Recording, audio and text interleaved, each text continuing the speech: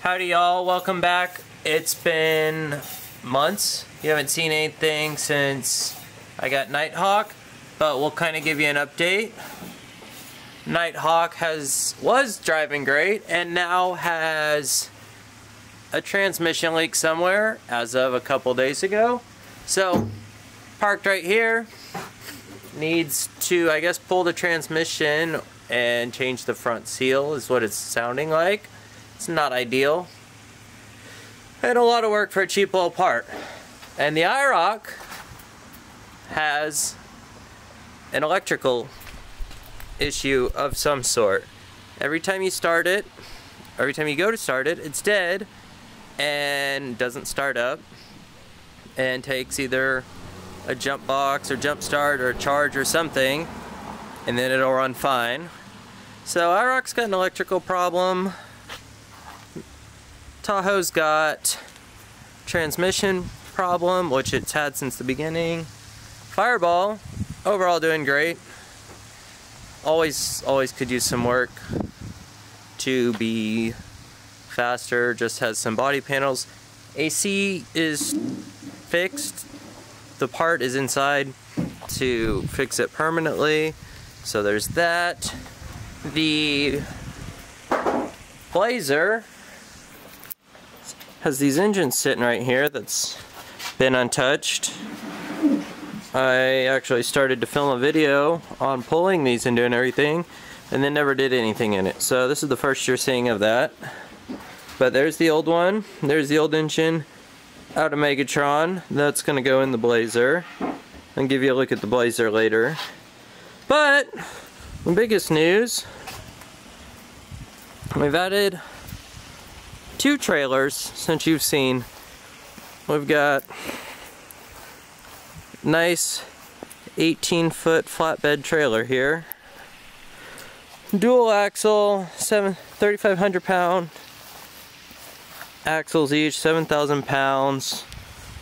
Thing's got a winch on it for moving around all the dead cars. It's got a very got a nice battery box here. Currently has no battery for the winch, but trailer's good. Picked that up recently and will help with moving vehicles around. So got it hooked up to take over to storage and you can see the other enclosed trailer we got so essentially we'll put the get over to storage.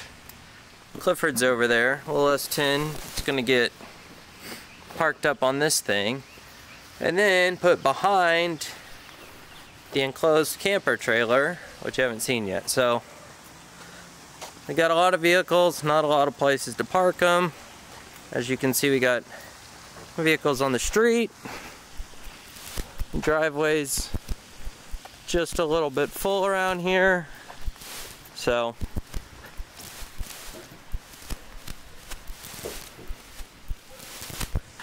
lots to work on, lots to do. We'll take you over to storage and show you the other trailer. Made it to storage. Here's the new camper trailer, cargo trailer, and hauler for the best vehicle we have also gotten that you haven't seen, but it's a cargo trailer conversion. Got an AC up on the roof. We got a nice big ramp here. Inside, we cut this window in already. It's got cabinets, fridge cabinets, AC, got a toilet over here, nice beds, TV, more cabinets.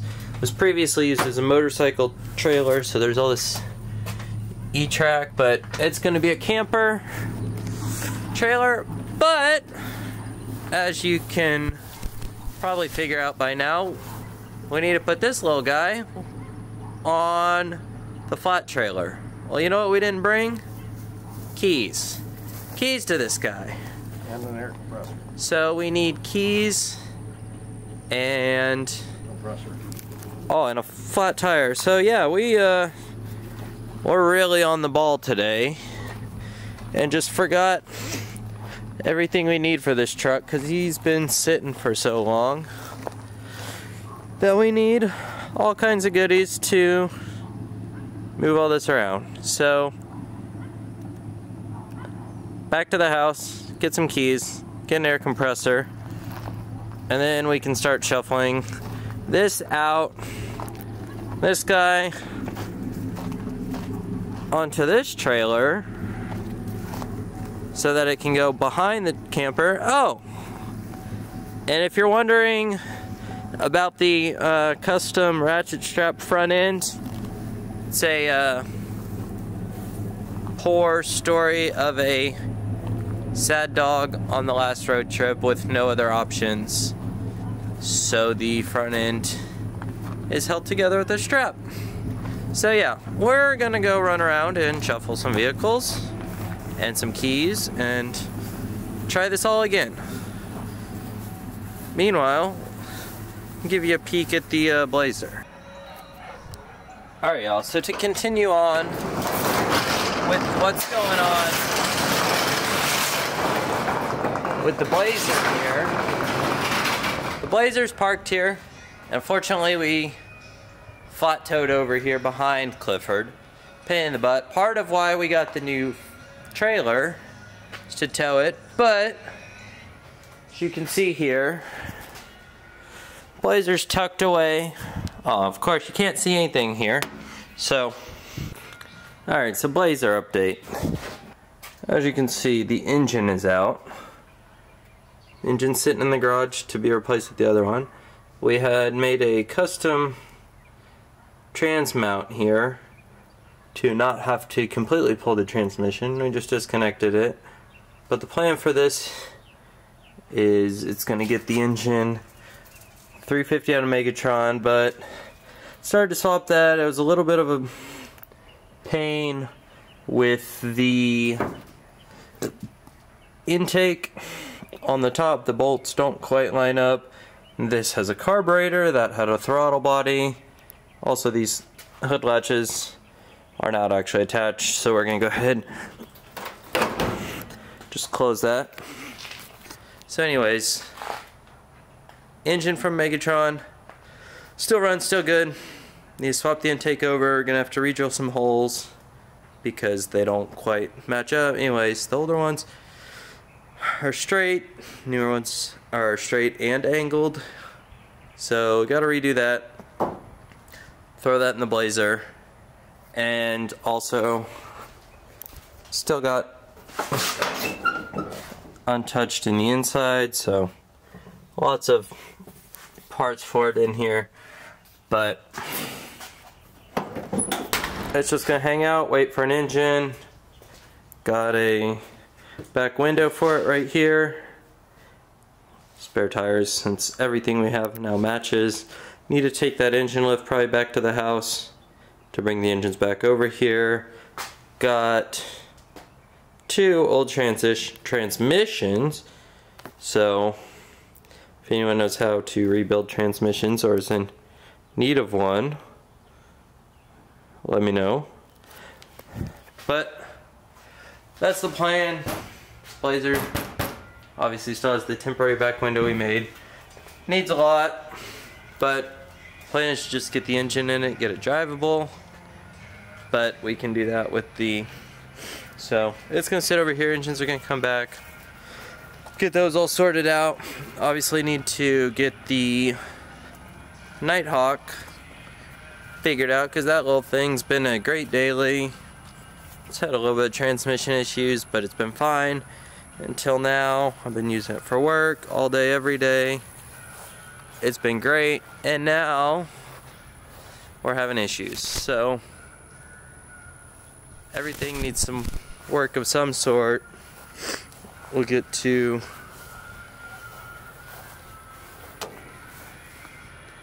moving stuff around and not being forgetful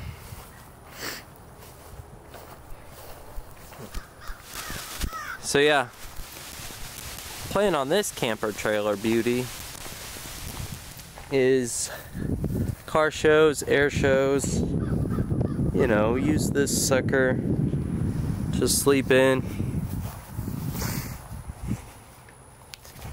Really don't need a whole lot. Somewhere to sleep for events like LS Fest, which is actually the first place we even took it. Worked out great. So, Clifford's getting sold. I know we're kind of all over the place, but Clifford's getting sold. So if you're in the market for a long bed S10, let us know. got replaced by the trailer. And we're still locked out. So when the keys get back, we'll continue this fun. Quick update. Can't find the keys to Clifford anywhere. So I have now cut wire off the back of a picture frame in storage to see if we can get this door open because we expect there to be a set of keys inside. So, picture wire to unlock the door. Alright y'all, so after all of that car shuffling and unloading and everything, could not find the keys to the S10. So, now we're going back home with the trailer, but the IROC is already over in the corner, and there's nowhere else that the trailer would fit. So now we're gonna have to shuffle cars or something when we get home. But before we get there, we got to show you the last vehicle. We got one stop to make and show you more updates to the fleet. Alright y'all, here's one I know you haven't seen in a while. Megatron. Megatron's been tucked over, anyway, current living situation, Megatron's been parked here for about a year. And so, came over the other day, gave him some love, and just need some air in the tires. The fuel pump was sticking, worked on that. So we're gonna see if he will start. Let's see.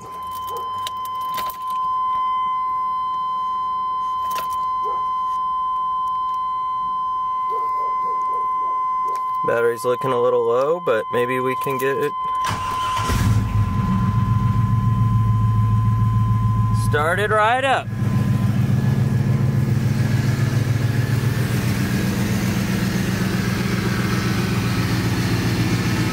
Now this is what we've been missing on the channel. Sound of Megatron.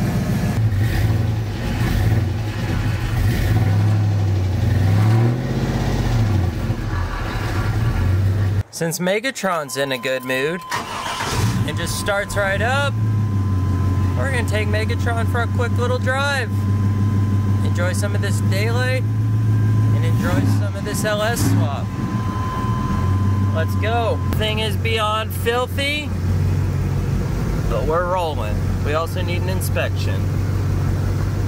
But, gonna run this thing over to the shop and back. Get it out and put some miles on it.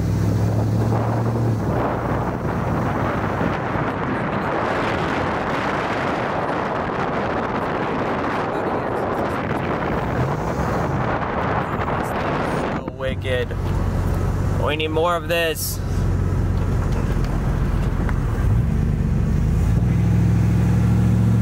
Power steering is a little weak, but we will work on that. Alright, alright, let's...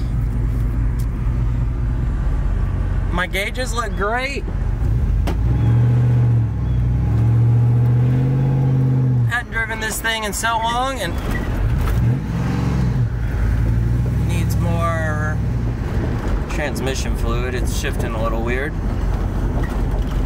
But it is...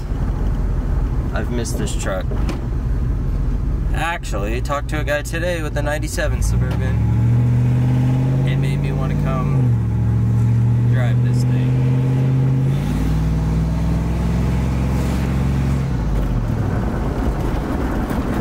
Too good. So fast. By far the fastest vehicle we have right now.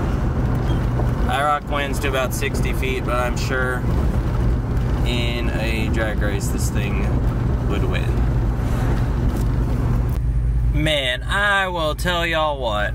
This truck just makes me smile. This by far my favorite.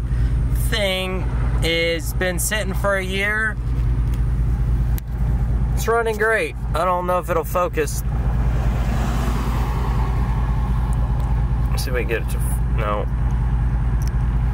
We're too close. Anyways. Truck is running great. It's nice and loud. We're just having so much fun. I need to drive this thing more often. Really, I need a couple minor things to just daily it. But so much fun. I can't, I don't even remember the last time I drove something that would accelerate like this. The IROC does, but when you hit this thing, puts you back in your seat. How could you not love this? 540,000 miles on this thing. 95 Suburban. Doesn't get any better. I'm telling y'all. LS swap was the way to go. This just gets me motivated to do some more. So, anyways, we're about to pull back up to the house and shuffle some cars. So, maybe this thing will still need to go back tonight because it doesn't have any of my stuff, but I've missed it. We're gonna drive this thing some more on the channel. All right, after multiple vehicle changes and Dinner. dinner and digging through the whole thing because we didn't bring snacks earlier, dug through every key at the house, swapped vehicles, now just driving around a Megatron because that's fun. And now we're gonna just, we've got a coat hanger. So our coat hanger key is gonna get us to the key that's in the console, hopefully. Do you So- have a hammer? Now we gotta break in to our own go in. truck. I need a hammer. Shoving it like a winner. Oh, this one went in. Alright. So we couldn't even break in. Tried coat hangers and pry bars and everything. Good news is this might be the most secure vehicle we've got. So we're going to get a longer piece of wire and maybe come back and try this again.